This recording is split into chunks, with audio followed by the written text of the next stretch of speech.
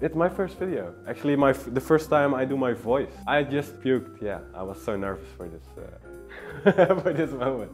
I'm never ready, so, so let's get started. Yeah. Robin Meijerink. On Instagram, my name is Robin Denim. When? In 1989. Uh, now in Utrecht. I basically do two things. One is uh, Robin Denim. I'll uh, try to keep my uh, blog and Instagram feed rolling. And next to that, I'm working with refugees in uh, Holland. Well, that started uh, around 10 years ago, I guess. Yeah, maybe nine. Yeah. I like to say 10. it's more or less 10, I guess.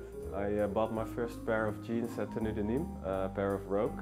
And my friends convinced me to buy a very uncomfortable uh, pair of jeans that was way too expensive. And I uh, thought, yeah, why not? I bought a very skinny pair, SK, the model. Then it started. Actually, I like the uncomfortable uh, phase the first two uh, weeks when it's really uncomfortable and it's really rigid and stiff. I like it. And after two weeks, it's uh, like a pajama. The favorite thing is, yeah, I think what I just uh, described, the, the, the evolution of the pair. So it starts very uncomfortable like a pair of jeans and after two weeks it will become part of, of you. And over the over wear, over time it will be uh, yeah, comfortable and you will create your own fade. It will be a, it's gonna be a personal uh, diary actually.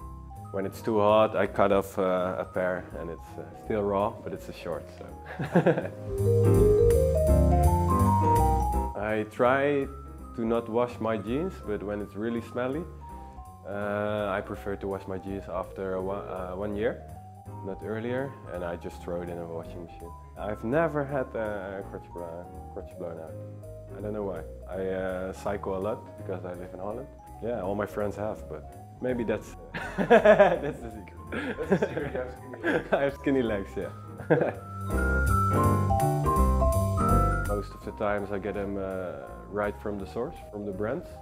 But I still like to uh, to go online to uh, some denim stores or to my favorite stores in uh, in Holland. Also good for inspiration to look what's uh, what's on the market. When I buy online, I always buy a, a fit I already uh, have. And when I will try a new fit, I first want to uh, to fit in the in the store. Yeah, three years ago, more or less, I think I started, and I just started as a kind of diary, I guess. And then I decided to just uh, post the nicest fades I found on Instagram, and uh, it went well. And over the years, I met so many kind guys, so many cool guys through Instagram who became friends over the years, actually. Nowadays, it's not just a diary, it became actually an important part of my lifestyle. Every day, I am like three hours on Instagram or something, maybe two, maybe three. And I talk to guys all around the world. So when I go on holidays, for example, to Indonesia, I met guys I have been uh, talking with for more than two years.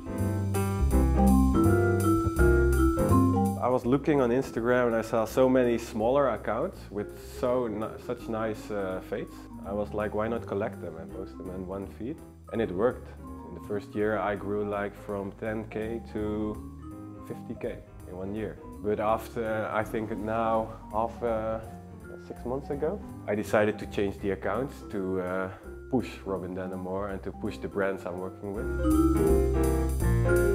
So I just told you now I'm uh, on Instagram like two or three hours a day. Back then, back then it was like 10 maybe. I was, yeah, yeah, yeah. I was just Instagramming the whole day. But after a few uh, months, people uh, started to tag me, so it was easier. Then I introduced my uh, hashtag, so I just had to look through my own hashtag. it works, yeah.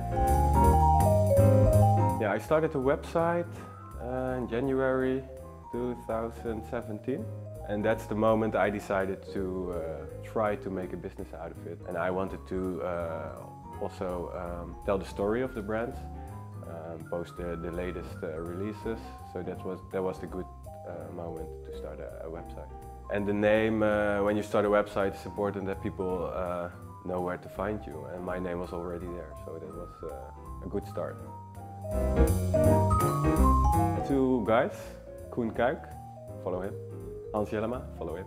The flat lays I do myself. When you scroll down, you see one flat lay in every hundred pictures, so that's taken by myself. Yeah, I met uh, them also uh, through Instagram. I think like two years ago. Uh, we first met on the Denim Days. They become cool friends now.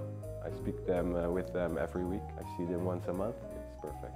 Yeah, and when we do a photo sh shoot, it's like uh, walking through, for example, Amsterdam, drink a coffee here, take some photos, drink a beer there. It's very chill and relaxed. So I collect uh, pieces I want to have on the photo, and after a month it's, it's time, I call Koen. Koen uh, says, okay, we go into, uh, we're looking for a nice spot, and then we get uh, started. Yeah, well, once I just changed my clothes, there was a very big guy working in a, working in construction building. And he was walking by and he stopped. He looking at me. Ah, oh, he's so cute. and I was like, fuck me. it was funny. I don't know. I don't know. I'm not uh, the guy who is always thinking about his future. I'm just uh, doing what I love most now. So uh, when you asked me a year ago, what are your are your dreams for the next 10 years? I probably uh, had said what I'm doing now because I really like what I'm doing. Everything I do at Robin Denim doesn't feel like work, so that's why I can keep going. It started as a hobby and it still is a hobby. So.